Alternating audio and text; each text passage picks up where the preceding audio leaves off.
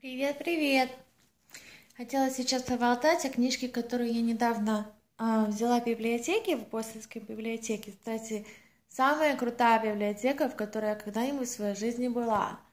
Ну, такие, ну такая старая, историческая, там куча все время а, туристов тоже шляется с камерами и все остальное, что, наверное, вот это немножко раздражает, но как-то они шляются не по тому месту, где книжки стоят, все равно там ничего интересного нету. Но вот заходишь, там такая большая мраморная лестница, а, львы мраморные стоят. Ну, короче, очень круто. Так что если когда-нибудь будете в Бостоне, заходите посмотреть. Мне очень понравилось, и я очень туда люблю ходить. Плюс там еще такое кафе есть. В моем детстве такую еду в кафе, особенно в библиотеке, не подавали. Я заказала себе сэндвич, зашла, ну, совсем с голоду умирала, я что-то туда побежала, еще ничего не ела весь день, мне очень надо было перекусить. Ну, цены, думаю, ну, цена довольно дорогая, там, это, да. Сейчас даю какой-нибудь маленький кусочек. Нет, там был такой громадный сэндвич, еще ужасно вкусный да еще с каким-то ужасно вкусным чаем. Короче, я уже себе решила, что каждый раз, когда я буду туда ходить, я буду заходить в кафе. Это будет как бы мой для себя подарок. Ладно, пошли в библиотеку. Одна из книжек, которую я взяла, это была вот, та, вот эта книжка «Парадокс мудрости». Автор Алханон Голдберг. Сейчас я посмотрю, в каком году она выпустили, потому что я... Да, она была выпущена в 2007 году. Что я могу сказать об этой книжке? Вот я очень люблю э, журналиста и автора. Она в Британии живет, ее зовут Кейтлин Моран. Я очень много сейчас вот по YouTube слушаю. И она что-то в одном из интервью сказала, что в библиотеке, она как бы образование говорит, что она всегда говорит, я свое образование получила в библиотеке, потому что она много читала. Я говорю, в библиотеке это самое раз брать книги, потому что так как это бесплатно, и тебе не надо за это платить, ты люб... возьмешь любую книгу просто так, а что, а может понравится. Я вот не помню, что пришло первое, яйцо или курица. Я взяла эту книжку, а потом послушала ее интервью. Или послушала интервью, потом взяла книжку, потому что решила что на правах, во всяком случае, что книжку можно взять любую. Кажется, я взяла книжку сначала и начала ее читать, а потом послушала интервью, ну, и меня это как-то заставило ее дочитать. Потому что книжка такая довольно не из тех, которые я обычно бы взяла. Обычно я беру такие всякие детективчики и fiction, и как бы проза, которую, ну, Достоевского я тоже читаю, но вот такие вот объяснение мозга книжки я обычно как бы не беру, я об этом лучше послушаю. Мне будет понятнее, когда мне кто-нибудь объяснит нормальным русским или английским языком эм, и опишет это все в нормальном таком. Ну, мне книжка, с одной стороны, понравилась, с другой стороны, не сильно. Да, она меня чему-то научила. Эм, в этой книжке, вот если вы знаете, как построен уже мозг, или вообще имеете какое-то представление об этом, хотя я могу сказать, что я биологический кретин, по биологии я кретин, я вот ничего не понимаю, если я начинаю вот... Биология для меня это очень тяжело, поэтому даже то, что проходили в школе, я не то, что не помню, я это никогда не понимала. Но вот если мне так объяснить в каком-то предмете, который мне интересен, например, когда я пошла на косметолога, и мне объяснили, как э, мускулы или как кожа вообще соединяется, и как это относится к моему ремеслу, вот тогда для меня это стало понятно. Или у меня учительница тогда такая хорошая была, что она мне так объяснила, что до меня дошло, или вместе взятое, да? Ну, короче, много из этой книжки, которую я прочитала, я много не поняла, и этот Голдберг, он вообще-то эмигрировал в Америку еще в советские э, времена, Советского Союза времена, и поэтому эта книжка вышла на английском языке, потому что он уже давно в Нью-Йорке живет и работает, и он как бы ее написал на английском языке, а потом уже кто-то ее там перевел на русский, поэтому я даже подумала, может мне найти ее на английском языке, потому что она, по идее, довольно интересная, там есть много чего, эм, я не знала и о чем бы я хотела побольше узнать, но, может быть, мне просто были непонятны некоторые слова, потому что, опять же, я как-то проходила школу и в Украине, проходила школу в Америке, поэтому, может быть, мне просто вот... Я про мозг как-то сильно не читаю, опять же, поэтому некоторые слова мне просто были непонятны, поэтому вот если я найду ее на английском языке, ее обязательно возьму, обязательно перечитаю и как-то из двух языков уже сложу общую такую информацию. А, конец мне не понравился. Вот эта книжка как бы о слабоумии и как не дойти до такого там болезни Алзаймера, как свой мозг, сохра... мозг сохранить годами, когда ты уже начинаешь стареть, чтобы не тронуться умом и не превратиться в какого-нибудь такого слабоумного дедушку или бабушку, который вот сам не знает, что он делает. И эм, с одной стороны, я ничего такого нового не узнала. Короче, книжка ведется к тому, что вот надо просто использовать свой мозг, надо учиться чему-то новому все время, надо его тренировать так же самое, как вы тренируете свои мускулы. Понятно, что вы тренируете свои мускулы, и это как бы уже мы все на этом помешаны, да, давайте там хорошо есть, а, заниматься спортом, и тогда мы будем жить дольше. И такой же принцип он предлагает как-то к мозгу. Но мне кажется, я вот не знаю, может, я такая умная, но я такую умную себя не считаю. Мне кажется, это уже ежу понятно, уже сколько лет. Или вообще-то я об этом не слышала, я как-то это сама думала, ну, наверное, надо это как-то уже так элементарно, но оказывается, это не элементарно. И получается, что все, к чему он вел, он рассказывает про мозг, он рассказывает, как мозг работает. Это было довольно интересно, хотя некоторые из вещей я как-то не поняла эм, сильно термины и все такое, слова некоторые. Ну, он там представляет картинки, так что легче понять.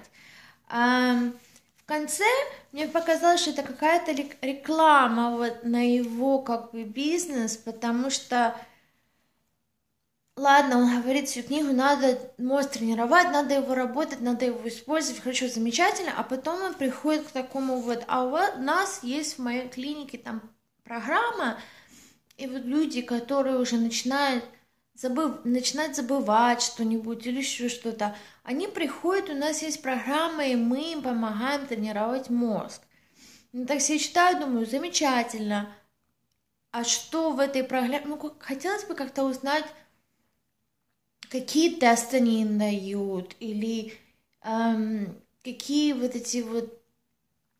А, он сказал, что это тесты головоломки такие, игры головоломки, но как раз как-то хотелось немножко больше об этом узнать, потому что такое было впечатление, что чувак написал книжку, вот, подвел к всему этому, а потом, чтобы узнать, вот какие вот головоломки он дает, эм, эти игры, компьютерные игры, головоломки он дает, этим людям, надо бы пойти записаться к нему в клинику.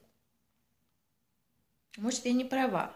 Об этом еще надо подумать. Может быть, я уже решу себе дальше, что это не так.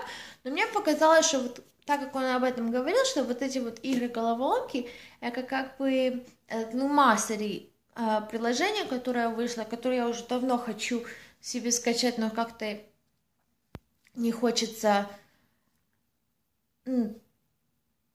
или времени нету, или просто не хочется сейчас это скачивать и им платить каждый месяц. Так я об этом уже давно говорю, я даже тест этот лайт сделала, как бы, который я скачала, чтобы посмотреть, как оно вообще работает.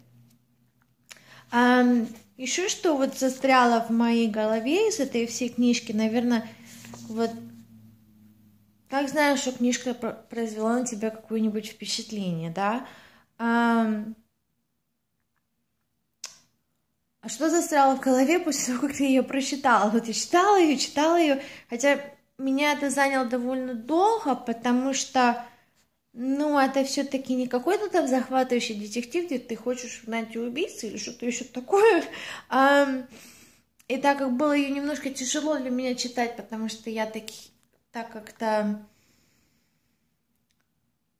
э, некоторые слова просто не понимала. Это был долгий такой процесс.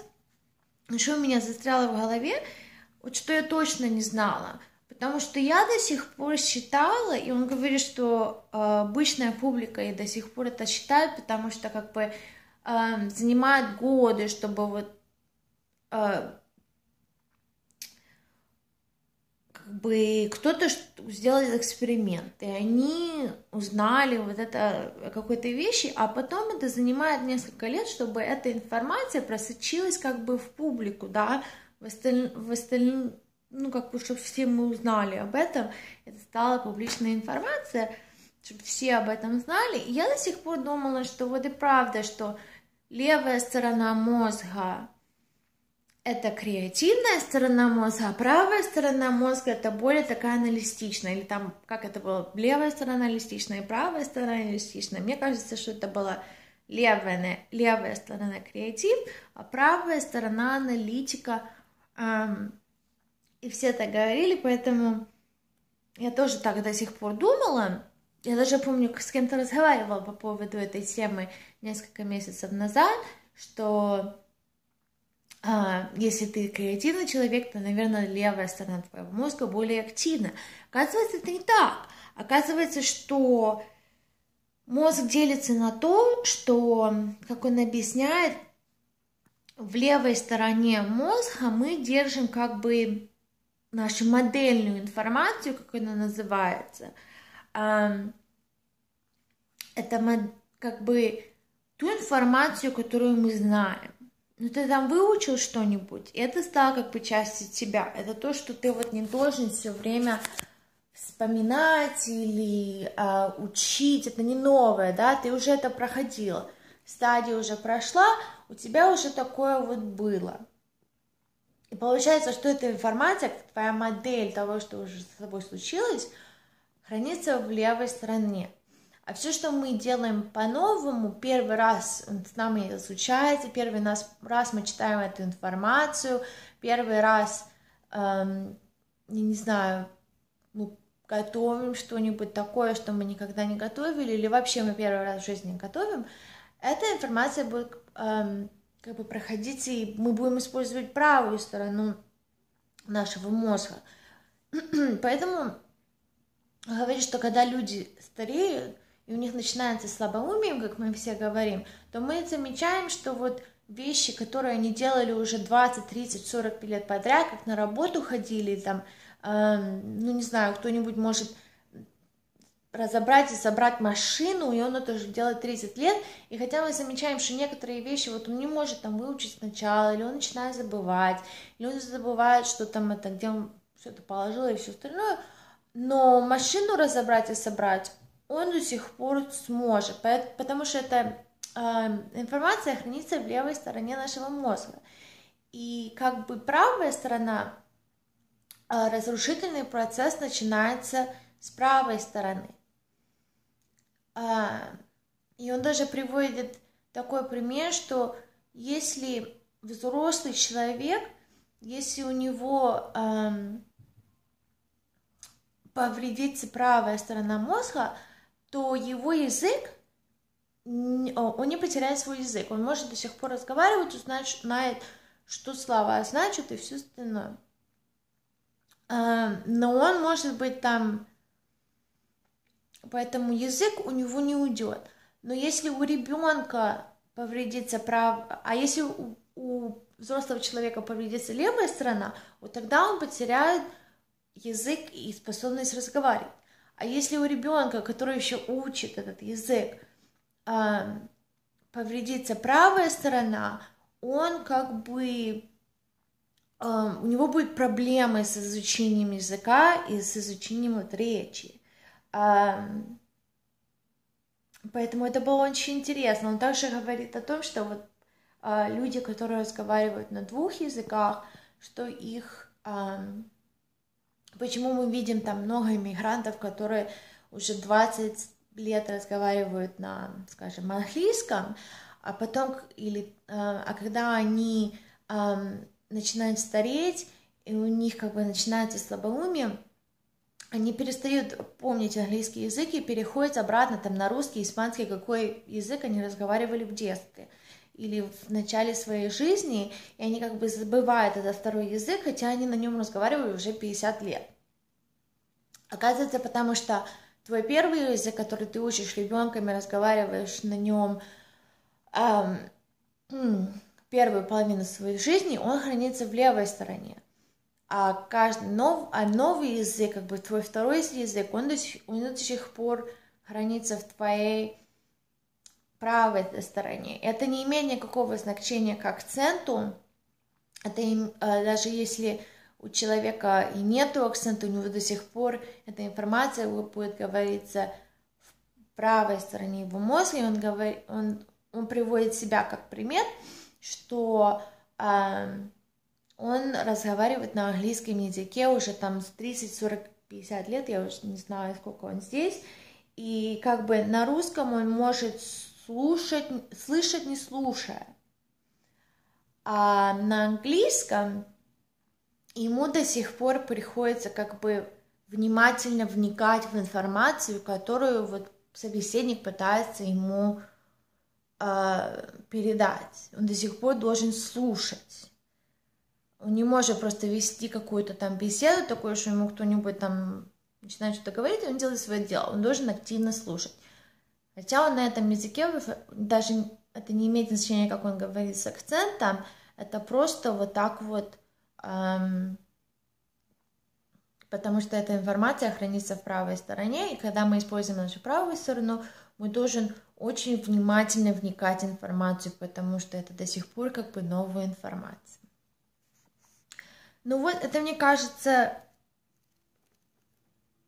и все, что я вот могу вспомнить сейчас из того. И хотя я по подумала об этом, и это, наверное, правда, потому что это, ну не то, что это правда, я знаю, что это правда, они-то делали свои эксперименты, но вот если подумать о том, как это может влиять на меня, взять, например, я могу там танцовую или какой-то еще детектив прочитать там за одну ночь, очень быстро вникнуть в информацию и все.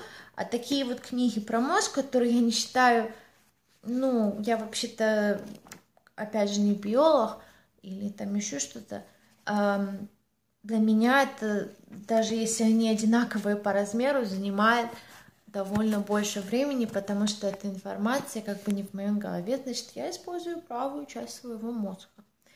Это было очень интересно мне узнать. Эм, Хотелось бы больше узнать о том, какие эм, игры они заставляют этих людей делать. Просто формат. Не надо мне там выдавать информацию, чтобы я сама это сделала, да? Ладно уж. Но просто вот было бы интересно узнать, какой формат эти игры держат, эм, что они там играют и какую информацию они пытаются. Ну так, немножко объяснил, но мне бы хотелось более там примерно детальный какой-то пример. А, ну вот, и конец болтовни. Спасибо, что послушали. Пока-пока.